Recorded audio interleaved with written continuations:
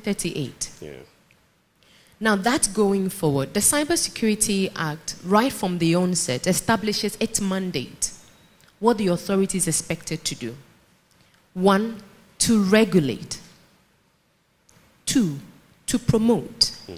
Three, to develop cybersecurity activities in the country. That's where we are. And I thought this premise was quite important because Prof was talking about the fact that that technology is in its infancy. And so we must be careful that we don't over regulate. We will not get the opportunity to even develop the technology in the first place. Understanding its mandate quite well from the first step, the Cybersecurity Authority has four major focus. Hmm. And the pillars of the Cybersecurity Authority is one, government. So to understand that government institutions and all the para public agencies understand where we are as a country. Two is public. Three is children. Four, businesses. Mm-hmm. To ensure that these four major pillars are secure within Ghana's cyberspace. For those of us who have been following very much the activities of the Cybersecurity Authority, 2023 was a major regulatory um, year for the Cybersecurity Authority, where we began the sensitization on um, the establishments, cybersecurity professionals, and our regulatory activities that is supposed to guide the operations of these sectors. That law came into force this year. So, what that means is for cybersecurity professionals, for cybersecurity establishments, and for cybersecurity professionals, it's key that you are licensed, you are accredited before you operate in the nation. Why this? Because we operate within a global community. The cyberspace is not like a physical space where you can easily man your borders. And that's why international cooperation is key within the cyberspace.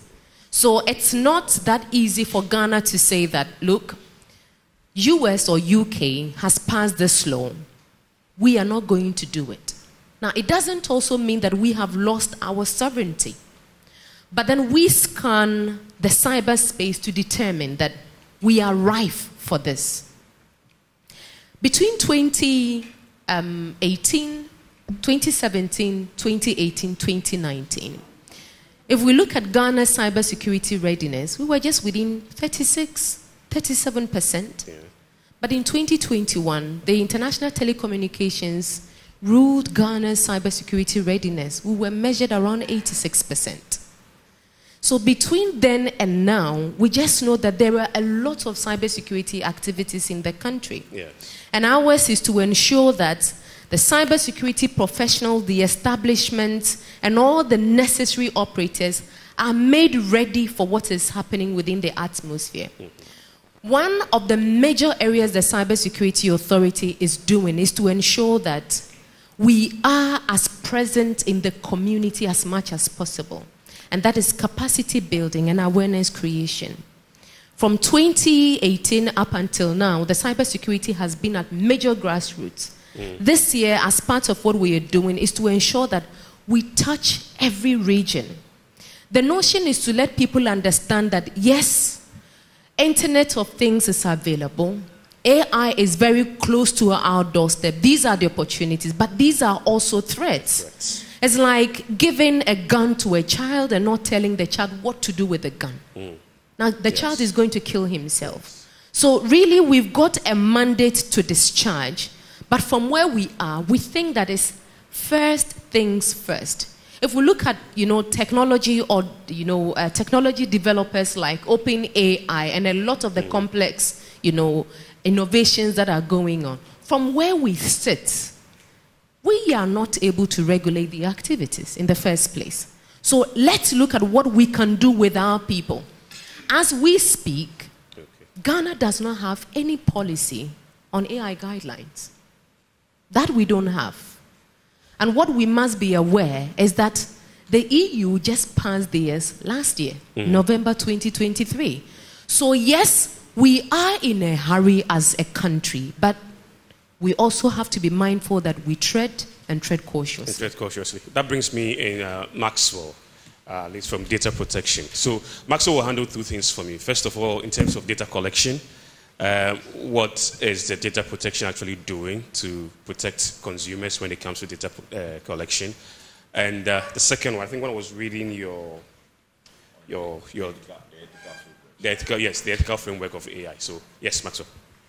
Okay, thank you very much. So thank you, Alma. Um, so I'll pick it from um, the data protection, what we do, and um, I'll fast forward to the next one. That is the ethical use strategy and the AI strategy, and also give a, where the country is and where we want to achieve from this. Okay, so thank you. Uh, data protection from here. So from the our act is the 843 2012. That was when the act came in place. So our function is actually to keep and maintain data protection register and also implement and monitor compliance of the act and also investigate any complaints that is from data subject and citizenry. citizenry.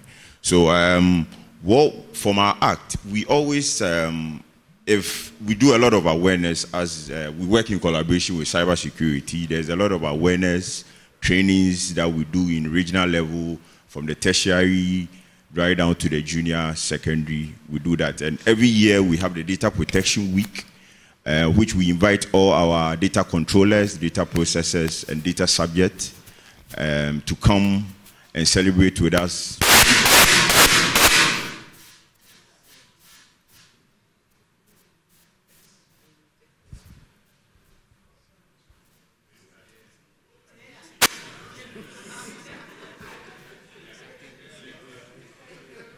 Hello.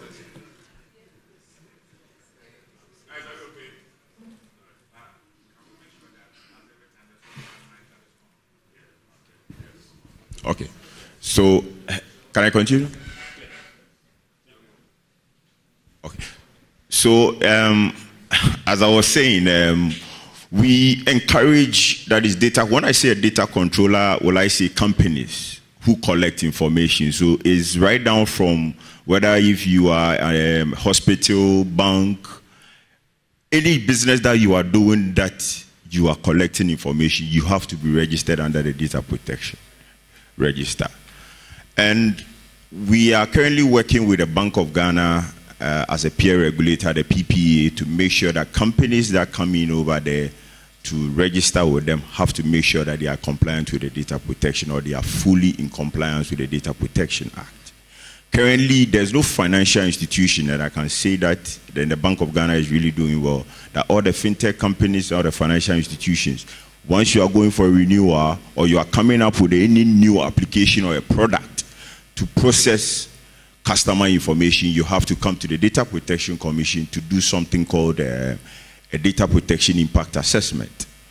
We do this to to measure the risk level of the application, how, what is the impact you are going to that application is going to have on the citizenry or the data subject. So we go through all those processes. We, you give us your risk assessment. We do your business continuity. You give us your business continuity plan and everything about that solution to know that okay, if even if there's a data breach, at what level, which is going to be indicated in the rich register, how what is the impact that is going to have on that citizenry or the data subject. So we go through all those processes with them to make sure that every citizen in this or personal information that is being captured by that solution is well safeguarded with all the security parameters and everything in that solution is well handled. Um, secondly, on our act, we also encourage organizations to train data, uh, data protection supervisors.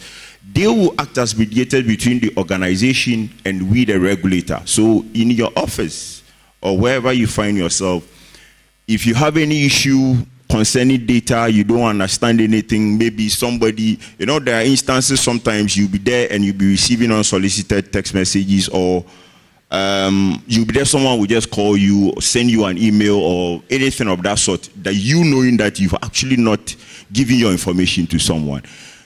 You can just first make a point contact your data, super, uh, data protection supervisor in your organization. Then from there, they will get back to us. The supervisor will then report to the regulator with the Data Protection Commission to lodge the complaint. They will do an investigation based on your compliance report. Because compliance report is something you do every two years. That is upon your renewal of license. So we'll take your compliance report, go through it, and see what are the indications or what are the parameters that you stated in to handle incidences of such. Then we'll take it from there. Second, uh, for me not to take too much time, I'll be talking about the ethical guideline, which is the AI. And since 2019 and before the COVID, data protection was working together with the United Nations Global Pulse and uh, through the Ministry of Communication and Digitalization, they gave us the nod that is data protection to handle the development or the draft of the ethical guideline of artificial intelligence. And um, in fact, we, we are done with it. The draft is out and uh, we are waiting for the approval. So, as uh, Doug was saying and uh, Amal was saying, the document is there. It's very, very critical. As you said, where we are as a nation, when we don't have this thing in place, uh, a lot of things are going to happen. Mm. And currently, there are solutions, especially this bank apps, uh, those who give these loans with this bank. Those who give these loans with this app. Sometimes you be then somebody will send a photo to a group that this person has defaulted and all that. These are all called dark patterns in solutions that we regulators have to make sure these companies, uh, these tech companies, don't do that. They will fish out those dark patterns. You might think, oh, you are doing nest, nest, nest. But at the end of the day, you are already giving them consent that when I default, pick up all the contacts from my phone and share it to people. Yeah. This is what is happening. So um, I also encourage us to also read, especially when we are downloading any solution or anything. We have to make sure that we read the privacy notice to make sure that because you are signing a contract. Mm-hmm. So you have to make sure that you are you are you are confident about what you want to use. It's not just about the nest nest. So I think it's another thing we as individuals we also have to take into uh, consideration. On the AI strategy too is also done. We did it together with the GIZ, the Smart Africa, also helped us in developing that, which is also ready, and uh, we is still waiting for approval. So when this thing come in place, I think it's going to help us as a nation and also regulate the tech companies, the startups, and the the foreign ones also coming in. I think TikTok was in in Ghana. Like I think they had a meeting yeah. in Ghana, yeah, this week. Yeah. So when these guidelines come in place, and I think it's also going to help them also know how they are going to help us or protect us. Because this AI is, we are to protect, uh, we are to regulate AI, not them regulating Because at the end of the day, we feed them with the information, that is the data or the quality data. So it will be very, very bad for them, for the system to tell us what we have to do as human beings. So okay. I think it's another important thing we have to look at that we are looking forward for this draft uh, um, document to be passed. And I think um, there will be a national sensitization and uh, we'll take it from there. Okay. Bryce, I'll come to you, but let me just quickly go to um, Emmanuel. Still on the regulation aspect of it. I mean, the level at which we should regulate it. There was something that Amos said that yes, we are talking about regulation, but it becomes very difficult when those out there uh, internationally put up their regulation, and Ghana would, would like to go different way from that kind of regulation. Yes, we can do something, but we also have to work with them. So, how do we actually handle the regulation that benefits us, and of course, doesn't also allow us to go overboard? Yeah, thank you very much. Uh, I think I side with Prof uh, when he said, uh, "Don't overregulate." Okay, if you do that, you kill the technology instantly. Um, where we are, as as a country and as a continent, we've not gotten anywhere in this whole AI, you know, um, trend. We've not gotten anywhere. We've not gotten anywhere as a, as a country and as a continent. Mm. All right? Uh, if you look at the data in terms of where we are, in fact, when I'm looking at the percentage of, I mean, adoption in Ghana, I, I, it's difficult for me to make a lot of sense out of our percentage. Mm. You know, they combine us with Middle East, you know, together. So when you're looking for African percentage, you have to look at Middle East and Africa combined together before you can get a percentage of how we are adopting Adapt. the technology. And so, uh, even though we need to look at the principles behind how we can create these things, mm. uh, we should be careful not to kill it. All right, that's that's the biggest advice I think. I, I, I overheard the, the data protection saying they will be doing national, you know, consultation and making sure that every views are, are, are put on board. I, I, mean, that, that would be great for us. You know, education or educational sector is there. They are into AI, you know, uh, training mm. or education. How did they come in?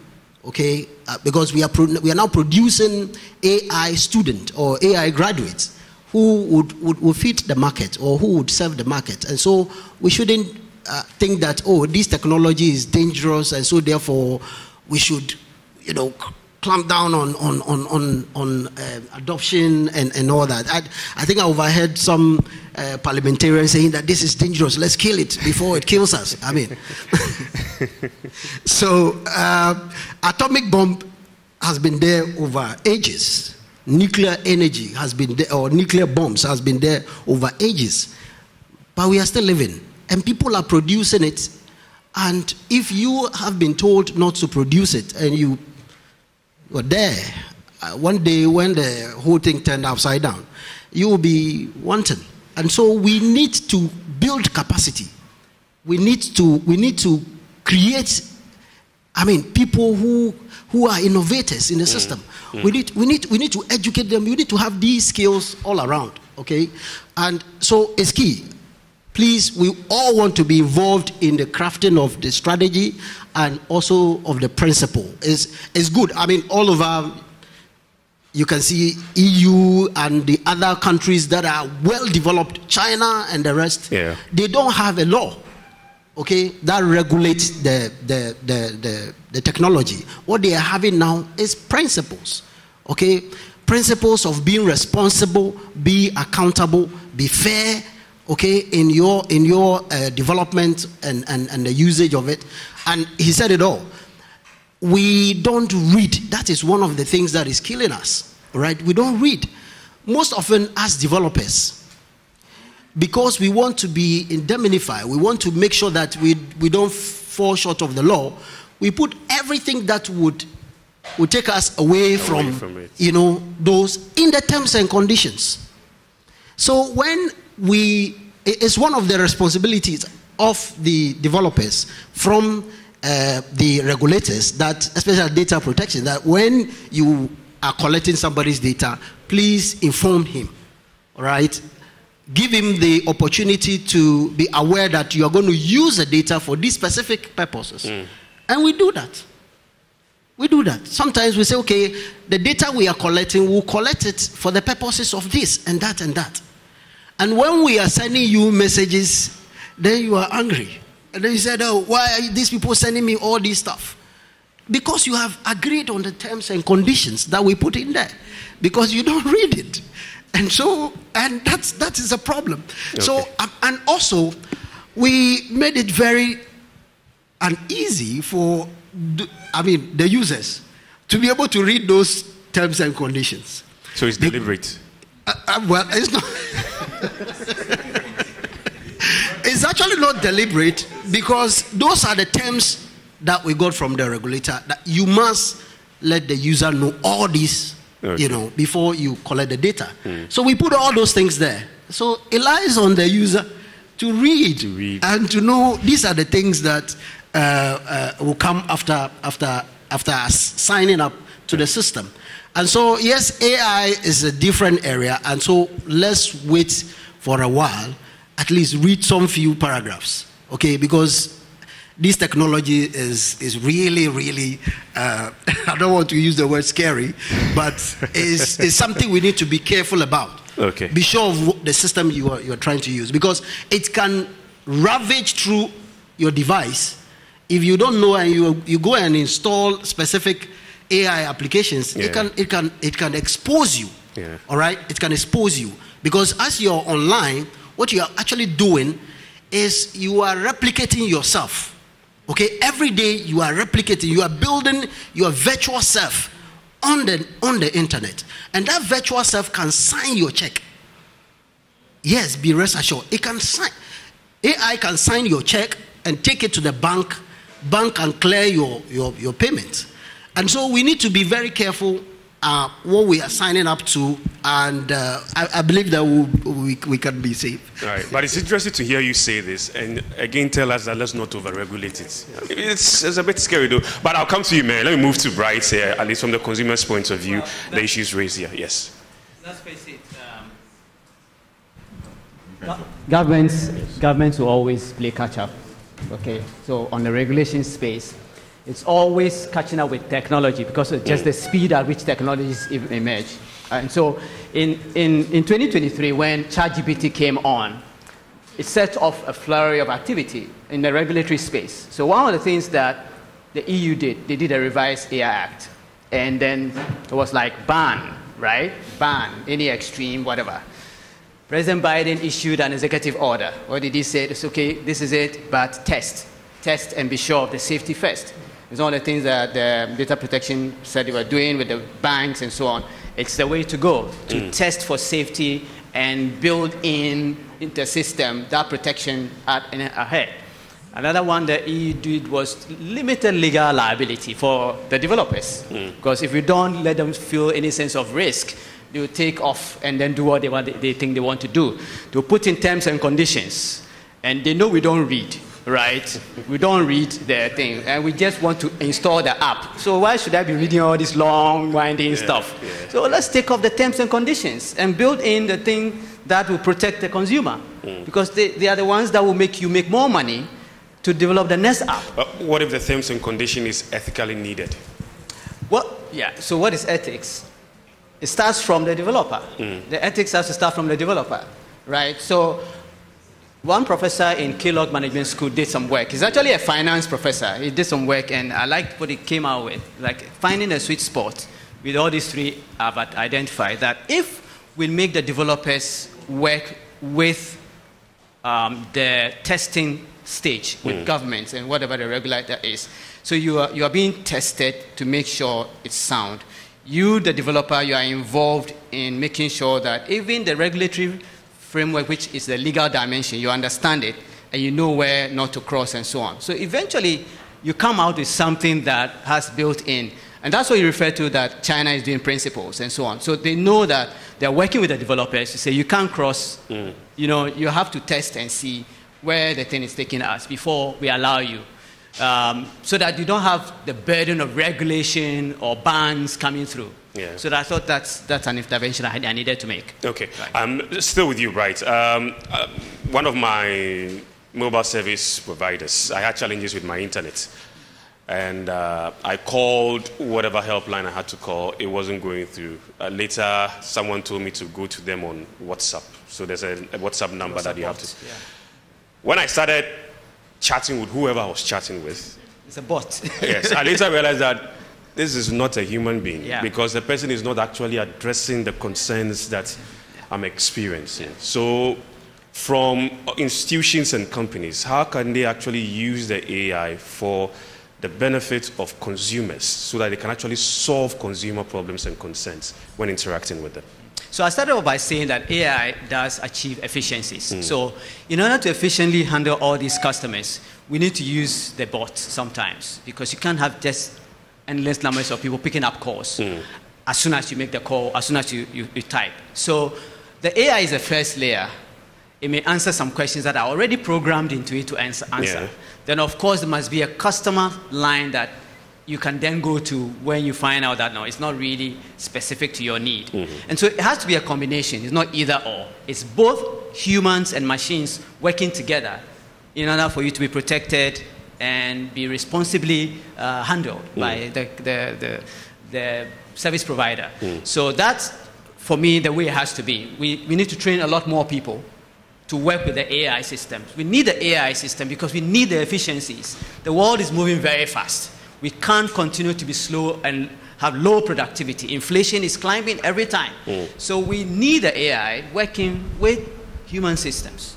Okay, all right. Mary, you wanted to say something quick one, then I'll move to uh, audience here for some questions. I think um, it has to do with um, it has to do with uh, data protection.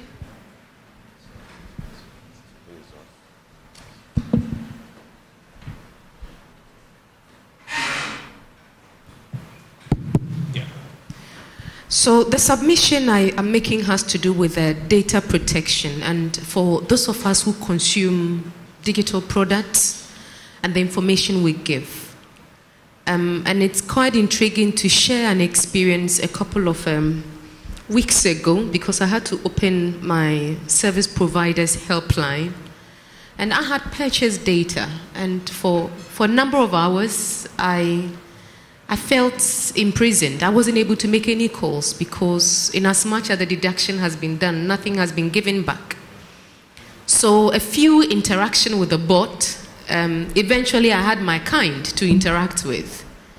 And um, I was requested to provide information that I thought were quite, you know, sensitive. And the lady at the other side of the line said, Well, until you provide them, there is nothing or little we can do. Data protection, um, sorry, Emmanuel was saying that, look, this, we are not there yet. This conversation, we are not there yet. But it doesn't prevent us from having that conversation. We just have to be forearmed because we are using the technology already. I don't know how many of us, this, um, um, the approval that the EU gave this week, Wednesday, on the AI guideline, Tuesday, I don't know how many of us have read it.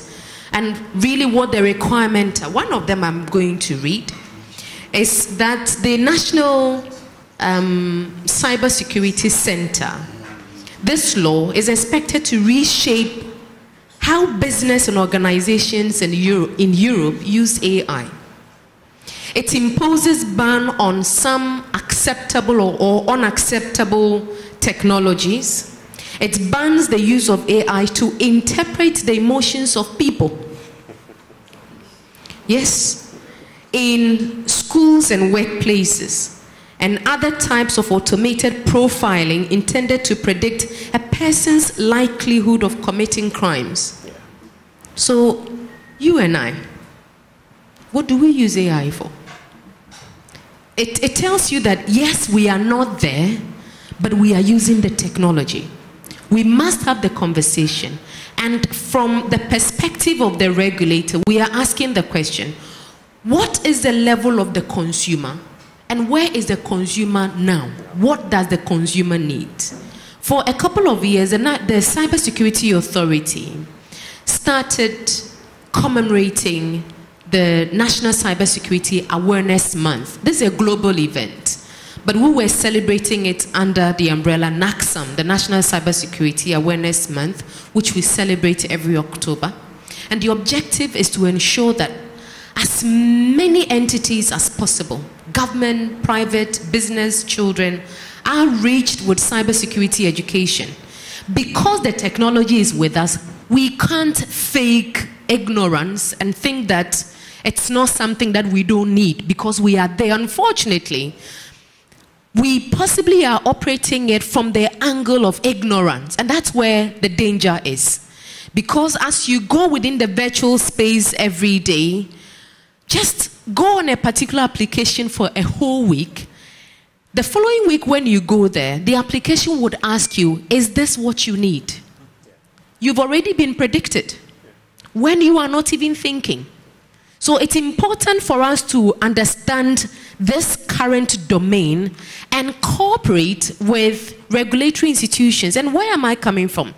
From where we sit as a cybersecurity authority. For instance, we are collaborating a lot with the Association of Bankers, with the uh, telecommunications, and with a number of uh, the industry within the country because we know, we, we very much understand that from the incident response perspective, mm. it's important that when a bank, when a health sector, when any critical infrastructure agency picks up a vulnerability, that is reported.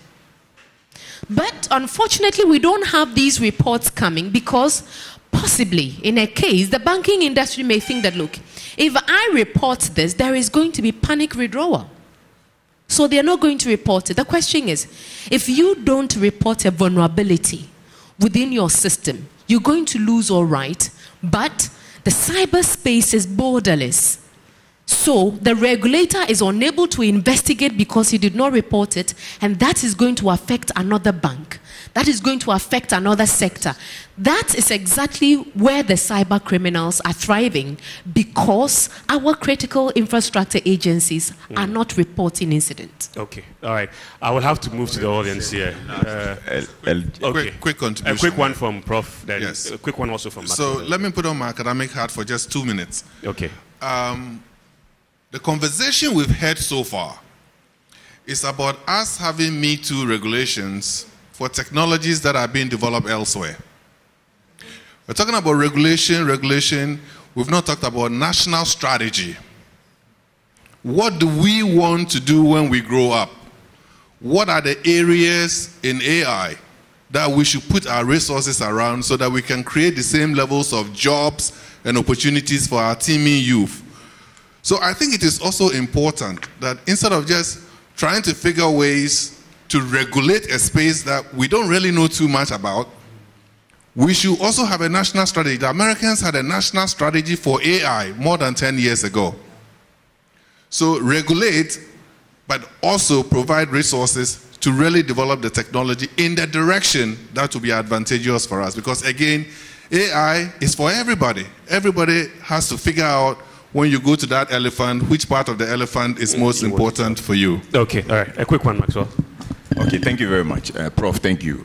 Uh, maybe I'll counter your this thing after the panel discussion. So I, I wanted to share um, a quick note on the, um, the importance of actually taking data protection as a serious subject matter. Yeah. Uh, because uh, if we don't take data protection very serious, it will be difficult for us to handle this, handle the cyber side of it. Because um, what is the cyber?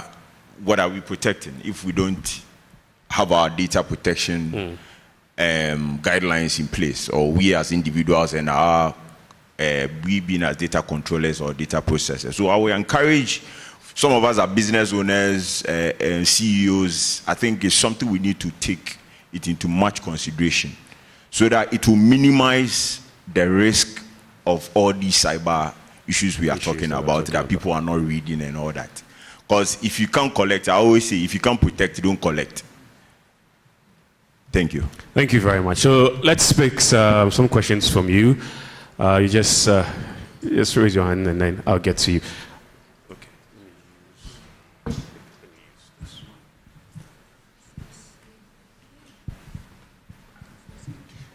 You tell us your name and maybe who the question is directed to, then we can move on. Okay.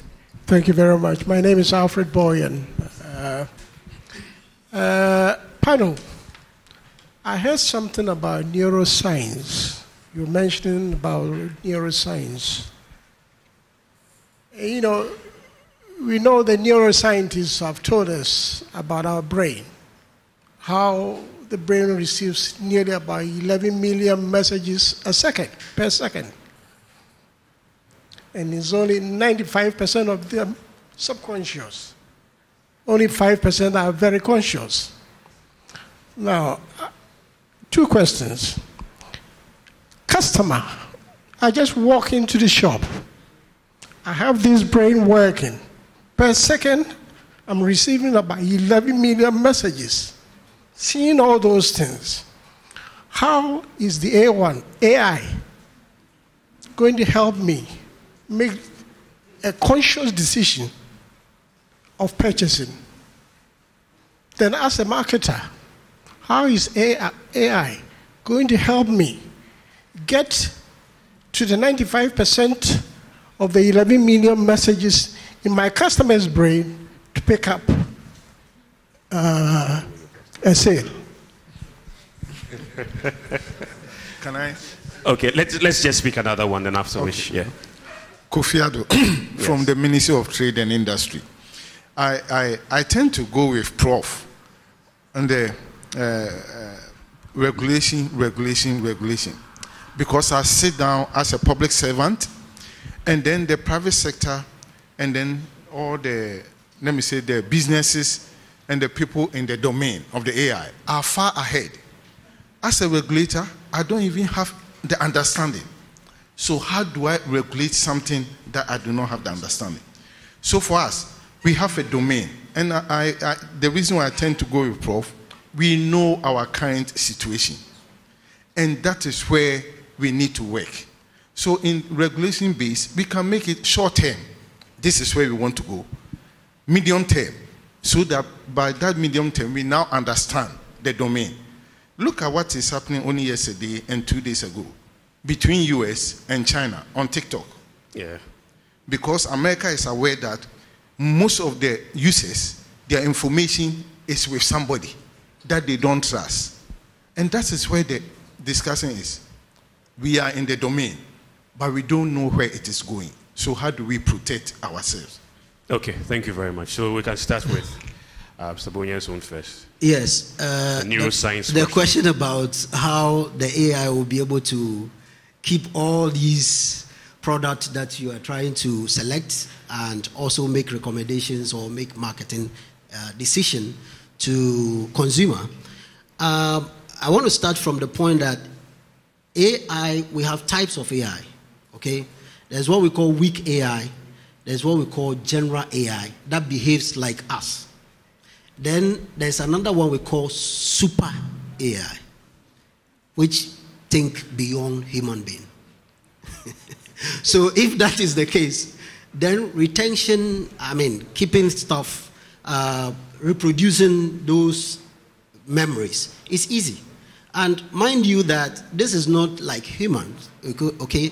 Humans, we tend to forget almost majority of the things that we've learned or we've seen. But in this scenario, because we, I mean, the storage is there, which keeps all the things that has been captured, it can go back, can go back to the memory and pick whatever has been uh, captured mm. and make sense out of it. So it is easy. I mean, we are going now to wearables, all right? So you, your watch can be AI powered. So once you're walking, uh, sorry, not watch, your spectacle can be AI powered. Once you walk around, it picks everybody here. It can tell you how many female and male in this room. Yeah. Seconds. In microseconds, it can tell you that. It can tell you who is who. Who is the managing director of which, whichever company. Yeah. By just wearing the glass. Yeah. And you know, walking through us here.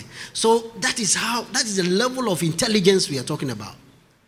That is the level of intelligence we are, we are, we are talking about here. Right.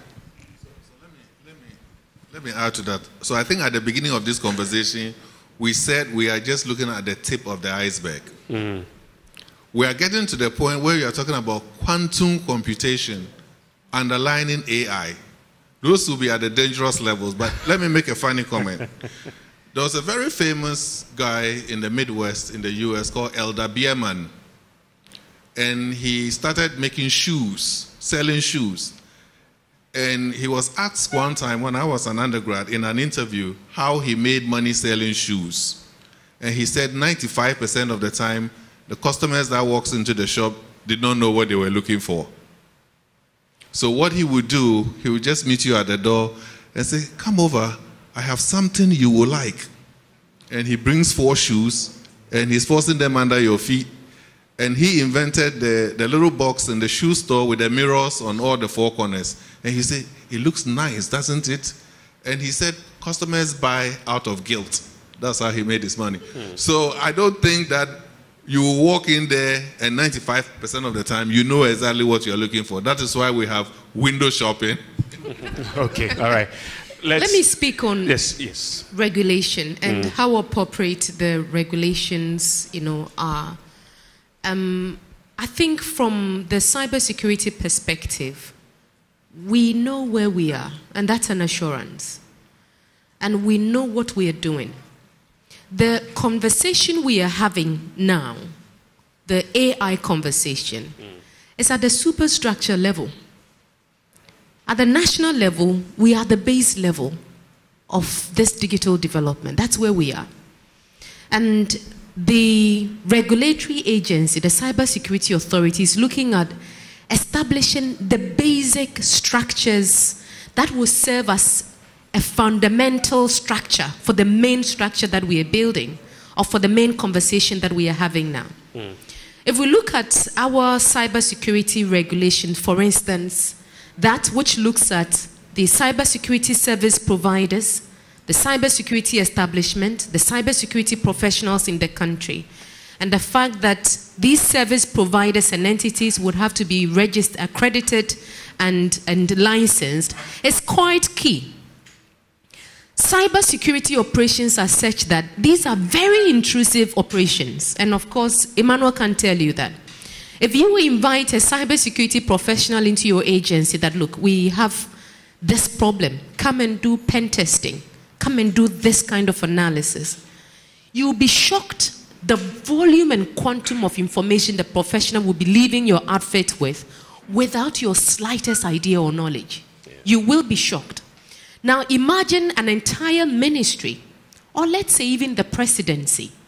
There is a cyber attack or a cyber issue there, and a professional is invited to fix the problem, and that professional has not been accredited. You ask, what kind of information is the person taking? It's true. Where is the person taking this information? Is the person or the professional even a spy? We have no idea. Mm. So, this is a conversation that we must have, and that's exactly what we are doing. It's at the base of the structure. We must have it. Other than that, we will be overwhelmed with whatever AI is bringing. We tackle AI and then we realize, okay, but what are the legislations? And then the answer is we don't have. So, how did you get here? So that's exactly what we are doing. And that is why from 2023, mm-hmm. when we began this conversation up until now, at the moment, the cybersecurity service providers in the country that have so far registered and are in the process of, of um, uh, receiving accreditation and licensing with the Cybersecurity Authority, these are all going into the processes. We have 1,189. These understand that the regulation is important.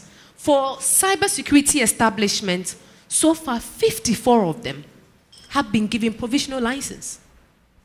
And then we have 196 of the cybersecurity professionals who also have understanding of what the cybersecurity uh, authority is doing and are also in the process of working on their documentations with us. So yes, the base is important, we are not jumping the gun. It's important that we have this conversation, but it's also quite key that when citizens understand these vulnerabilities, it's, it's, it's, no, it's not privacy, it's a national, you know, it's a national security issue that the conversation we must have.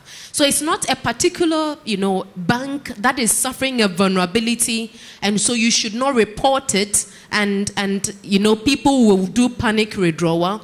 But let's let's have a national perspective. Let's have okay. a global perspective in this entire conversation. Okay, let's pick um, some other questions. Uh, okay. Look, I think regulation is fine. Okay. One of the challenges I have seen is enforcement. Enforcement. I mean, we all know today that people have their SIM card registered against their Ghana cards. And yet, when you accidentally send money to somebody, even the, uh, the telcos are not able to help you retrieve your money. Yet, they have all the records. They know exactly who withdrew the money and when because they have a password. So, and, and it's, it's, it's, it's beyond the telcos. I mean, you go to East Legon today and you have buildings with injunctions on them, but they are still being built. Okay? Now, if you just go back into history, there was a guy called Meredith who was prevented by racists from going to University of Mississippi, uh, University of Mississippi. But when the court said that school had to desegregate, FBI took him to school every single day until he graduated. Here, you go to court, they issue a warrant, and nothing happens. You go to court, you get an injunction, and nothing happens.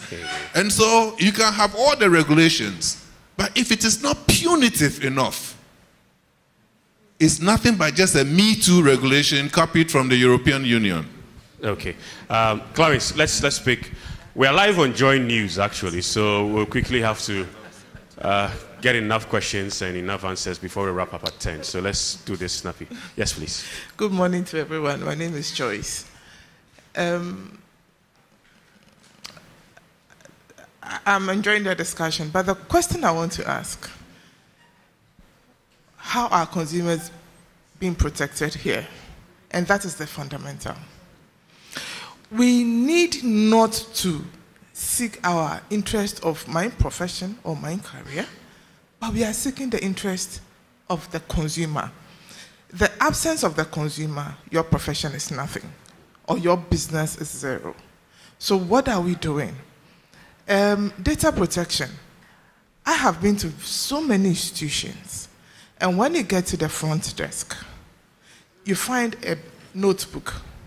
They ask you to write your name, your phone number, where you're coming exactly. I, I'll make this confession here that once I was looking for a particular person, when I got there, I saw the person's name, their phone number. Why wouldn't I pick the phone number and the email and contact the person directly? Is that consumer protected? No. But we see all these things in most of our institutions. And you find out whether data protection is indeed, or we are complying with data protection laws. Okay.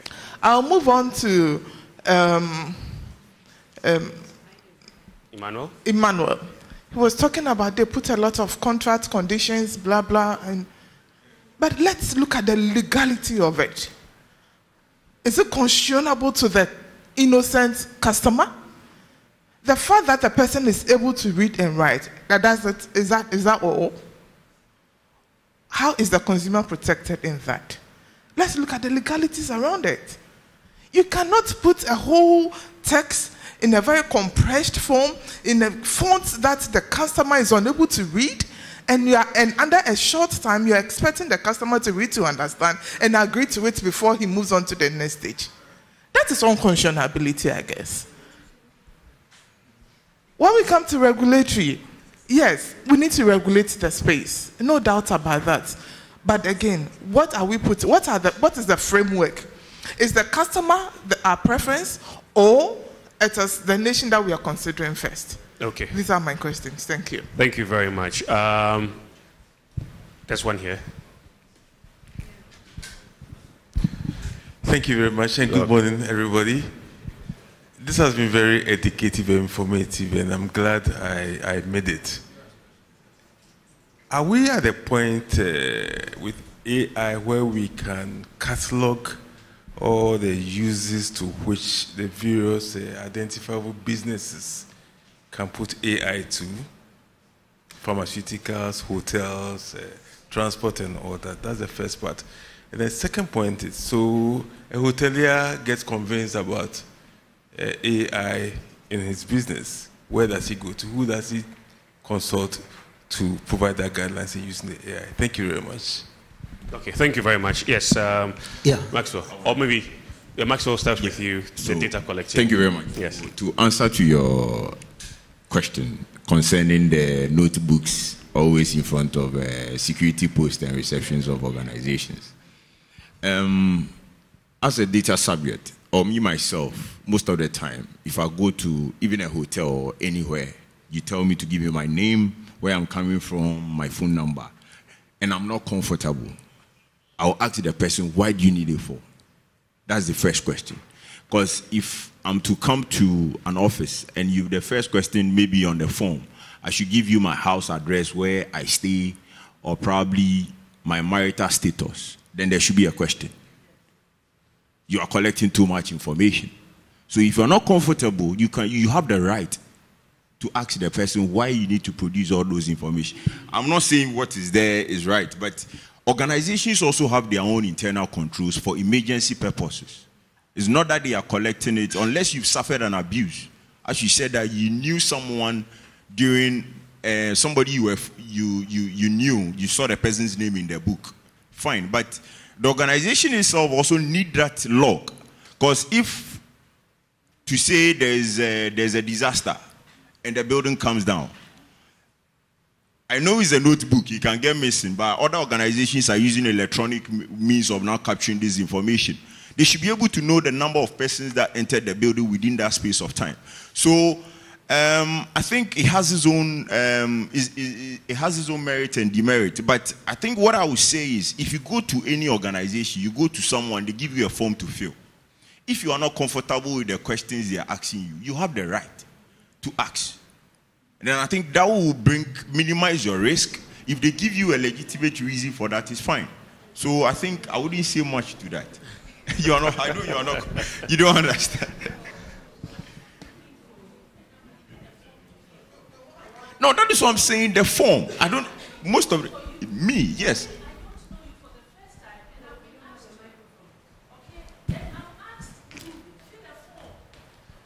I said I'm not comfortable because you're asking me of too many questions. Are you a Mrs. or a Mr.? Are you this and that and all of that? In addition, I add my telephone number.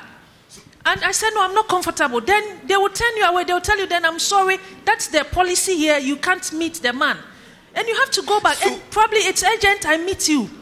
And especially for people coming to look for people for the first time they don't know. You, you, you unconsciously provide all these details and it's become a norm. So I understand where you are coming from. So you from, can't say, from "I'm the not customer point so of view. But what away." I'm saying is, um, you as an individual, you have the right. We have something called the data subject right. You have the right to object to anything, whether to put your name or not to put your name. But her concern, her concern, her concern is, is, that her objection will end up not allowing her to see the person she yes, wants to see. because yes. So that is what I'm saying. The organization itself, fine, is an internal. Depending on, I said that depending on the information you they are asking you. If you ask me for my marital, then I'll have to walk out because depending, I'm coming to just uh, maybe to buy a fridge from one of these shops, and you're asking me for marital status. Then probably it's as much as See, go to go, go Maxwell, to a I'm coming to data protection. I have a new company. I want to register with you. I've been asked certain questions I think I'm uncomfortable with. I need to register with you because that's what the law demands. I can't just walk away. What do I do? for data protection as a that one And is that's is- an is example I'm actually giving, though. So that's where her question is actually coming from. Okay, maybe- Because she actually needs to see someone. There's a need there. She's asked certain information she thinks is uncomfortable. And yet, if she doesn't provide that information, she can't see the person she needs to see. That's where the question is. the issue. So, so let me. Yes. Look, let me just. Yeah, it's okay. The, the consumer is in trouble. that is the bottom line. And the consumer is going to be in trouble for a very long time. Ah. And that comes to my point that once you start adapting other people's regulations, you need to be careful because there's a context to it. So today, when you walk through an airport, somebody is measuring your body temperature. They are scanning you in 3D to see the red spots, whether you are panicky. And so when they pick you from the line to search you further, it just didn't happen randomly. So when they tell you we just it's a random search, it's not true. They've collected some variables from you as you're walking. So in that context, in the in, in the Europe or in the US, that data is not available to anybody except the security agencies. So there's a certain level of protection there. But the consumer is still in trouble for a long time to come. Because if you don't sign in to come into my office, you will not get in. Where that data goes, even me, I don't know. It's in some notebook. I don't know what is going to happen to that notebook when I hit the jackpot and I'm gone. So I think we need to contextualize data protection here, not the Europeans, because they have mechanisms to protect, and even they still get breached. Okay. I think, well, I am representing my Director General, Dr. Albert Antwi-Bosiako. And uh, anytime it, we talk about Ghana's digital conversation and issues of cybersecurity development, he's got a phrase. He says, We are cooking. It's not cooked yet. And what does that mean? The kind of decision we are taking is premised on science but we are not there yet. Recently, I needed um, information, the contact of um, a minister of state. And I knew that my front office was the best place to get it. And I had to follow a rigorous procedure. Now it gets to the front office lead, and she says, Why do you seek this contact? And I explain in an email, and the response that comes is, I'm sorry, we can't give it. And I didn't get it. The same institution you The same in. institution, I didn't get it. I'm talking about the Cybersecurity Authority. Mm. I didn't get it. So we are talking about an institution that even before you get a contact, you should establish just justification for that.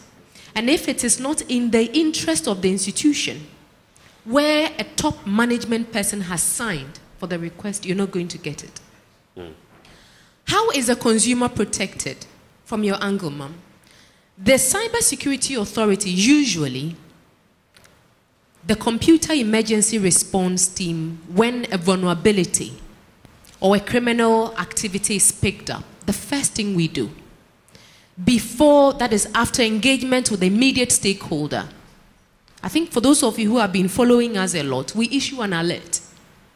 It's a national alert to let you know that this vulnerability is in the system. This is how they are working. This is what you can do to secure your asset. We do that.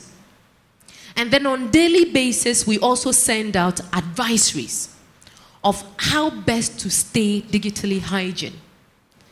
And then we also have the computer emergency response team also has the point of contact. That if you are suspicious of any cybersecurity activities within your systems, this is the number to call or to send a message to 292. That's our point of contact. Okay, thank you. Um, Yeah.